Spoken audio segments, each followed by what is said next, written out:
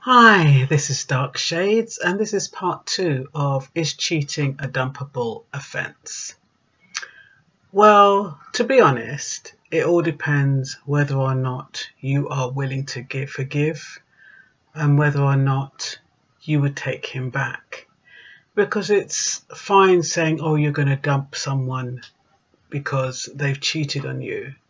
But if you're in turmoil because you love them so much, what's the point? You know, it's hard being betrayed because that's how you feel. You feel totally betrayed.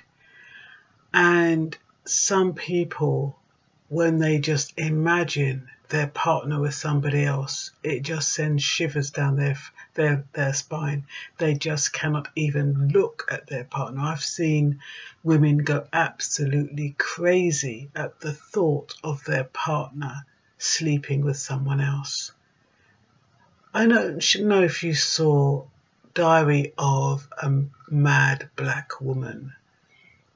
Well, this guy, he he was living with a woman and she looked reasonably enough. I think she was doing a hell of a lot for him. Anyway, he decided want this young thing. And a lot of these men, they go through this midlife crisis where they decide that they want to go out there and pull some young chick. And it's not that it's not even like them look good, you know. But they want to pull this young chick that makes them feel good and who validates them. So this guy in um, Diary of a Mad Black Woman brings this young chick in and kicks this woman he's been living with out onto the street. And with nothing. At the time, I think he was really successful. Anyway, in the end, he hurt himself and he was he was wheelchair bound.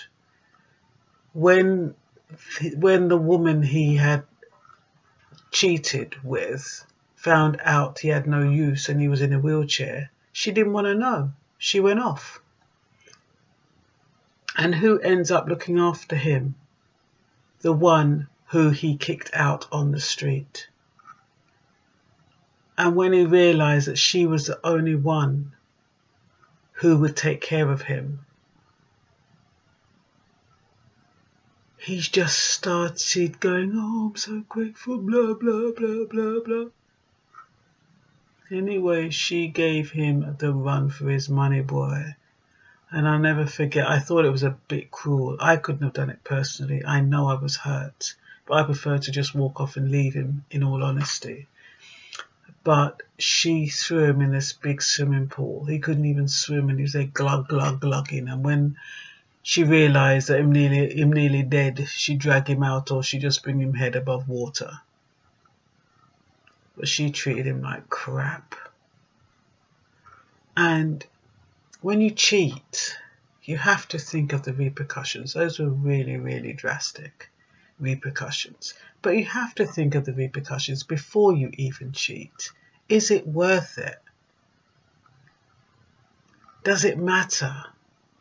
Am I just cheating for a fling? And am I cheating because I don't love my partner anymore? So it doesn't really matter if I get found out.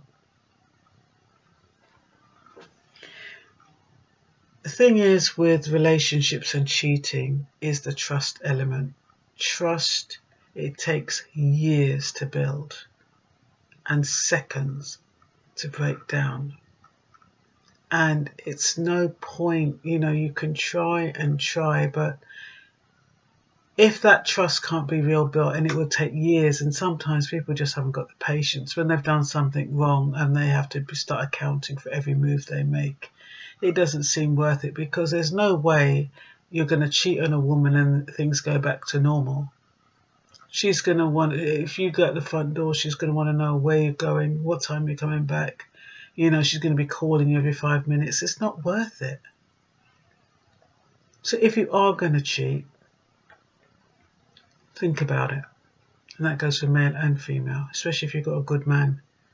You're going to cheat on the man. Is it worth it? If he decides he's had enough. And sometimes when you go and cheat, it ain't even worth the, what you waste your time and go and do. It's not even worth it.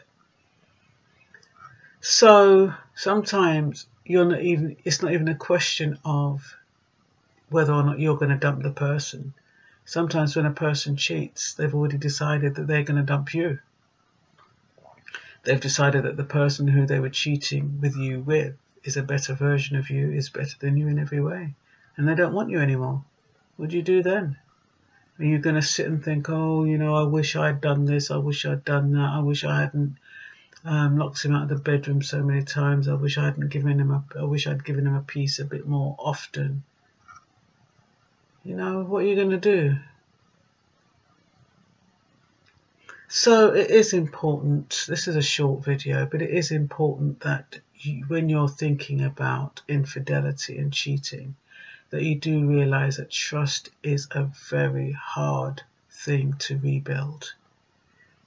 And so when you're thinking about going through that door and you know that you put on your nice clothes and you smell sweet and you know you're going to go and see another woman, just because you, you're looking for validation and you know, you, you want your ego stroked. That's usually the only reason why you do it.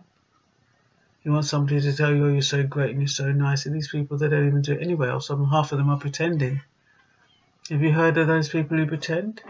So half of them are pretending and they just want to be treated nicer because you've got somebody at home and you're out of touch out there, you end up spending money on somebody who isn't even interested in you and you leave what who is interested in you at home and just because that person isn't showing you all the time how much they love you it doesn't mean that they don't love you and you know that they love you so i'm going to stop it here and i'm going to leave it up to you is cheating a dumpable offence depends who's cheating who they're cheating with depends how much you love them depends on a lot of factors. It's not black and white.